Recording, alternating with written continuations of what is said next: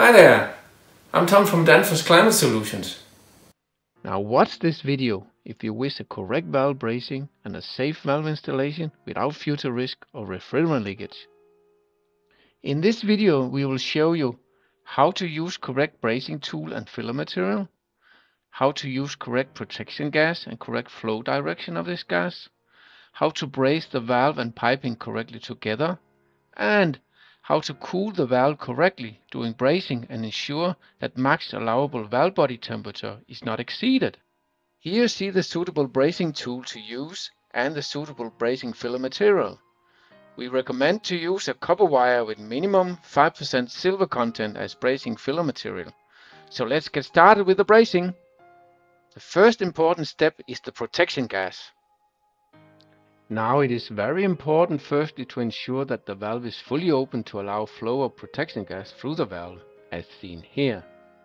The valve is applied in open position, as seen here. So we need to connect nitrogen protection gas to the valve connection on the opposite side of where you're going to braze the valve to the piping, as seen here. Now this is very important because this flow direction ensures that the gas heated up during brazing flows away from the valve body and not into the valve body, which in such case might damage the internal valve parts. Another very important step is water cooling of the valve during brazing. This is done by wrapping a wetted cloth around the valve body, as seen here, and then wet it with sufficient cold water to keep the valve body cooled down during brazing.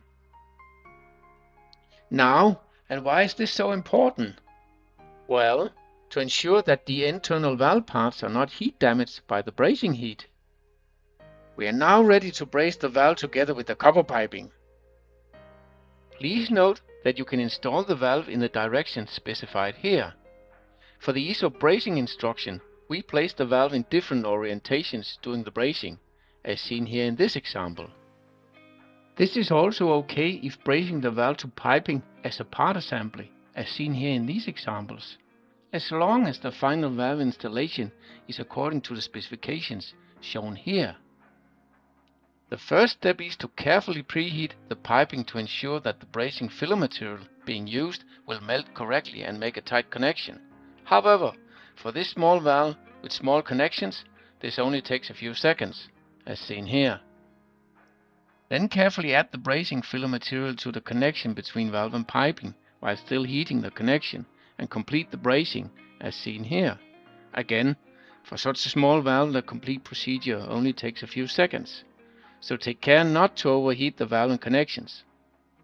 As mentioned earlier, ensure that the max allowable valve body temperature is not exceeded during brazing as specified here.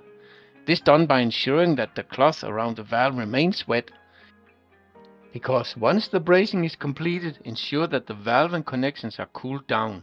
Please note that these parts are very hot as seen here. So be cautious not to accidentally touch these parts until they are sufficiently cooled down. Okay, we're now ready to repeat the whole brazing procedure for the second connection between valve and piping, as seen shortly in the following sequences.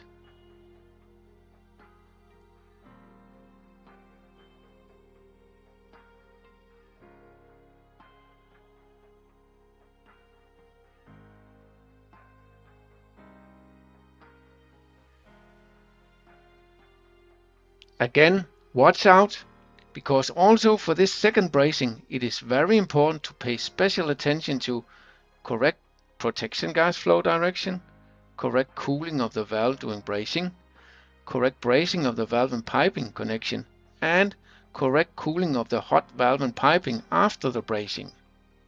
So to summarize the lessons learned from this video,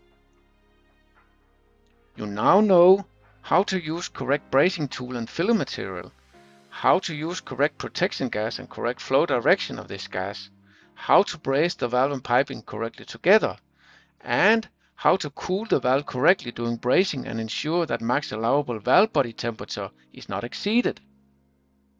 All this ensuring that you have a safe installation without future risk of refrigerant leakage. Have a look at the other Danfoss online videos where I talk about valves. Thanks for watching.